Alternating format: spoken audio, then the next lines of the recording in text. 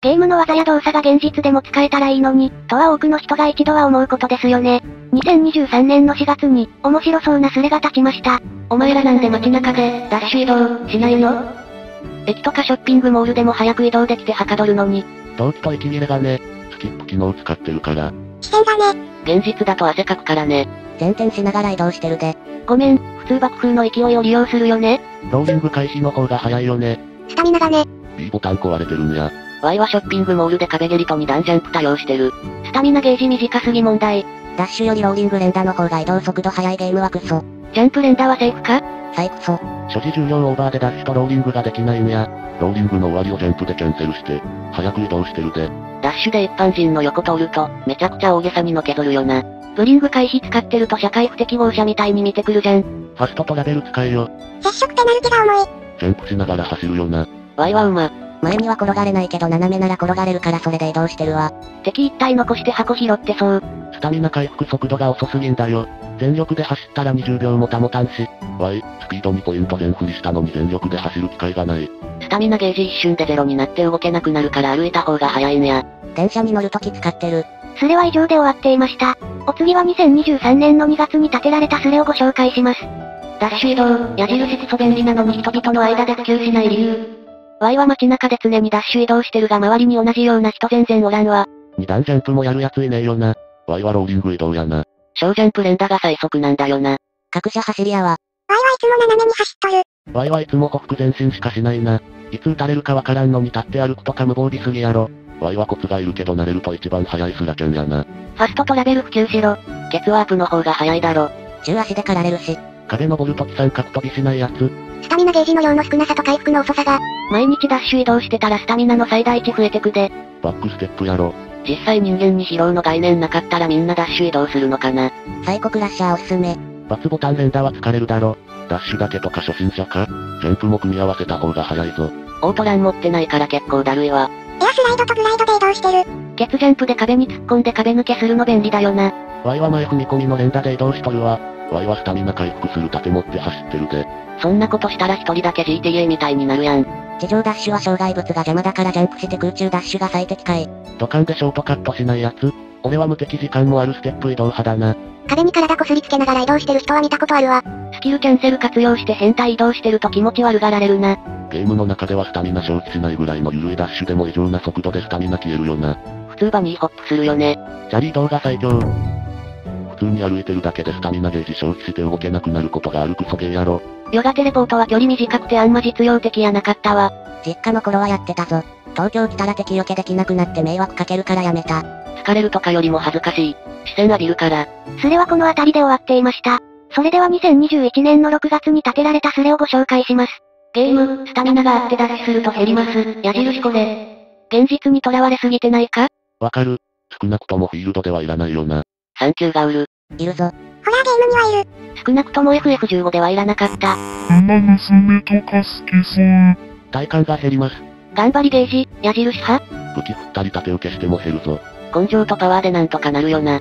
剣士、5回しか触れない。スタミナ制やないと無双ゲーになるし。HP と一色たでええよな。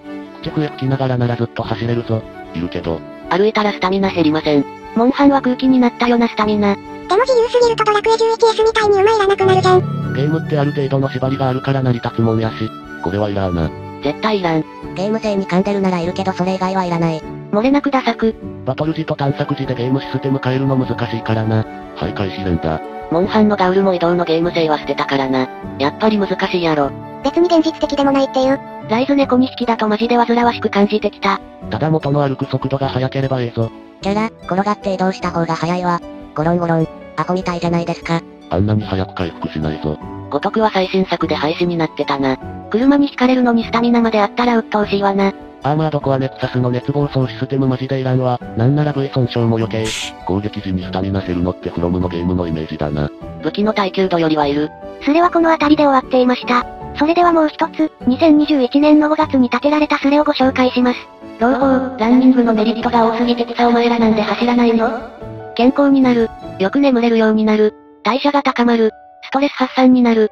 痩せる。体力がつく。根性が養える。生活習慣が整う。肌が綺麗になる。ぽ、力が高まる。こんなにメリットあるのにお前らなんで走らないの？体は劇的に変わるよな。昔は走ってたけどもう走ってない。膝がね、毎日は無理。久しぶりに2日連続で走ったわ。ちょっとタイム速くなると嬉しくなる。膝死にます。お腹減ります。胸が揺れて痛いです。足太くなります。汗だらだらです。スマンウォーキングでよくね。デブしか共感できない意見やめ。足太くなるのは短距離な。マスクつけて走るの辛すぎる。いやマスクが必要な道走るなよ。無能かよ。スポーツ用のマスク買え。週に3回くらいしかできなくなったんごねえ。ってなんや。マラソン趣味の奴らっていっぱいエッチするために走るんか。結構良くなるからな。老化早まるよ。ウォーキングにした方がいい。時間がない。走る靴がない。メキシコのララムリ族見習ってハイタイヤからサンダル作るんや。時間も作れ。筋肉落ちるし。まあまあ怪我のリスクあるじゃん。なら自転車乗るし。ウォーキング8000歩で十分。ランニングって仲間できにくいしスポーツの中でもやるメリット低い方やと思うわ。マンさんと混合のチームスポーツが一番。マラソンランナーは寿命が短いデータがあるから何事もほどほどならええぞ。そのレベルと比較するのがわからん。怪我のリスクとか膝とか言ってる奴はどのレベルで走り込んでるんや。キロ6分ペースを5キロ週3とかでええんやで。肌が綺麗になるは嘘。紫外線でシミだらけになる。夜にかけろ。普通の体格の人が軽く走ってても膝壊すんか？ちゃんとしたシューズ履いてコンクリじゃなければ問題ないで。コンクリ走って壊す普通体型のやつは少なくない。土の上とか整備されてるグラウンドを走るならええが、コンクリとかやと膝や関節に負担かかるで。それと良いランニングシューズ履いてフォームもきちんとしたフォームで走らないと体にさらに負担かけるから気をつけろよ。これは年齢に関係なくダメージは蓄積される。骨や関節や体は消耗品や。大事なのはラン前ラン後のストレッチやな。ガチで走った時なら膝アイシングも必須やけど継続的に走っててそこまで追い込んでないならストレッチだけでも問題ない。老けると聞いた。これ、活性酸素爆発して老ける。栄養とってないやつじゃね。骸骨みたいに頬こけるの。ちゃんと栄養休息してたら顔に無駄な脂肪を落としつつ健康的な見た目になるぞ。人多くて夜中か早朝しか走れんし無理。ルームランナー楽しくないし。1キロ3分で走るやつバケモンやろ。そんでその速さでフル走るやつはもっとバケモンや。頑張ってキロ3分30で走れるようになったけどキロ3分切りで10キロなんて化け物の世界やのにフルなんて考えられん。マラソンに美人がいない理由わかるやろマラソン出たらわかるけどくっそ綺麗な女性多いぞ。10キロとかなら健康目的のババア多いけど、ガチでやってる人は肌も衰えるからしゃあない。ただ週1とか2くらいでランニングしてる20代の女の子は美女が割とおる。特に東京の臨海エリアとか高層マンションがあるあたりはマジで美女多い。トレランやってる若い女性も綺麗な人多いと思うわ。選手にはあまり見人いないな。健康目的のランナーならそこそこおる。ランニングそのものよりも日焼けによる劣化がね。なでしこジャパンに美人がおらんのもそれが大きいし。ほんとか？そもそも走ってるのは男の方が多いな。ジムは半々やけど、陸上やってた時は走ってたけどやめてからさっぱりや。ワイはあかんな。陸上部やったけど腰膝足首ボロボロでもう走れない。本当無理したらあかんよな。壊したら終わりや。コロナ禍で店とかに行けない中、公園でランニングは気持ちいいぞ。世の中みんな、生きてるんやって思える場所や、筋肉落ちる。上半身ならしっかり糖質とタンパク質取らんと落ちるかもやけどふくらはぎと太ももは明らかに筋肉質になるぞ。筋肉質にはなっても筋肉の総量は減るやん。特に長距離やったらあかん。まあ何を目指すかやね。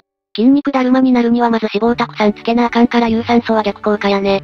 ただ健康的な感じで下半身もがっちりする程度なら普通にランニングでも問題ないで。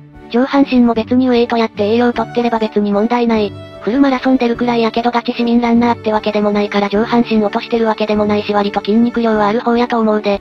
さっき外走ろうとしたけど100メートルくらいで歩いてもうたわ。最初はジョック程度のペースでいいんやで。自分を追い込んで走らなきゃいけないのはアスリートだけや。そうなんか、運動不足や思想させてもらうわ。ランキングしたら足の裏が伸びて痛いんやがあれはなんなん？筋が伸びてるからやろ。ストレッチで軽減できるで。疲労やで。糸が張ってるような感覚やろ。外出るのもめんどいから家で飛ばないバーディーやっとるわ。朝しか時間取れないんだが心臓止まりそう。2日に1回夜に走るのがいいらしい。俺はそれプラス軽い筋トレもしとるが。月200キロ目安で走っとるわ。ぼ、欲は弱まった。それは明らかに走りすぎやな。マラソン趣味やからまあ距離的には普通や。走ること自体が目的で健康とかはおまけや。肌ボロボロやし長距離走の体かっこ悪いやん。趣味でやってプロでやってるやつみたいな体になると思うか？サイクリングの方が怪我のリスク少ないし何より消費カロリーが段違いやわ。ランニングってなんであんなきつくて消費少ないんや。サイクリングは股がグリグリと圧迫されてぼ、よく落ちるからやめとけ。サイクリングよりウォーキングの方がいいらしいぞ。ウォーキングの方が体の動く部位が多く、より多くの酸素を取り込めるらしい。車にひかれるリスクと引くリスクがね、足の裏の刺激から来るの上の衝撃が脳に良いらしい。NHK、骨への刺激という意味では自転車は座っているのと変わらない。爆笑や、関節の負担考えるとサイクリングも取り入れるのが賢いな。ランニングスポットで走ったら、HH があるがたまに走ってるで。サングラスに帽子かぶっとけば、ある程度見放題。最近ボディラインの見えるパツパツのレギンスみたいなの履いてる女の子おるが後ろから見たらお尻プルプルなんよな。あんなん野獣が多い海外なら即襲われるで。今日もパンセンくっきり女子を堪能しながら周回コース走ったわ。周回だと何回も拝める。ムラムラして抜きたくならないのか？なるけど、走りの疲労と音楽やラジコ聞きながらやから、他に気が行くようになってる。ランニングしてるけどマスクして走ってないやつ本当にやめてほしいわ。せめてすれ違い様にはしろ。ランニングだけしたら、お腹周りの脂肪は残り、足腕はガリガリになったわ。だから腹筋とかで補ってる。俗に言うマラソンランナー体型やな。脂肪よりも先に走るのに不要な重たい筋肉から分解してしまう。走るなら絶対に筋トレもセットにしないとカレーだみたいな広がりになるぞ。1日70回の腹筋はしてるわ。あと腕立て60回。コロナなければジムに行きたいんやけど。1キロも走れないんやが、足首と心臓がすぐ悲鳴上げる。心肺機能上げる方法ないか。アップルウォッチ買って心拍数が150超えないように走りましょうね。かっこ150超えちゃいかんのか ?150 超えると息苦しいと感じてくるはずなので、150以下に抑えて走れば何キロも走り続けられると思う。日は浴びた方がええと思って昼間走っとるけどあかんの？すぐには肌に来ないけど、後々来るんやろ。男だと日焼けは様になってええんやけどな。夜の方がええぞ。肌が悪くなるデメリットも全く無視できるばかりか綺麗になる。夜だとダイエット効果が出にくいと聞くんやがどうなんや？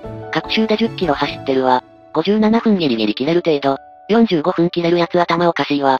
実際走ってみたらマラソンのキロ3分なんて気、外レベルだよな。ランニング辛いから歩くだけでもええか？歩くだけでもええで。スポーツ選手とかでもないんやし。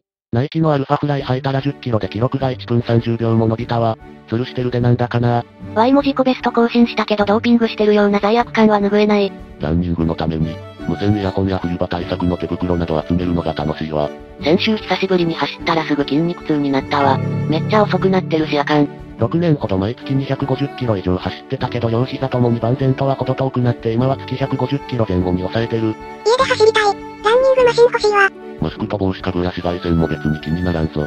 一昔なら選出者みたいだったけど。Y も週末5キロ走れるようになったで、痩せるのはマジやった。ずっとジムでトレッドミルばっかしてて久々に外走ったら足パンパンなったで。ランニング続けれるやつすごくね。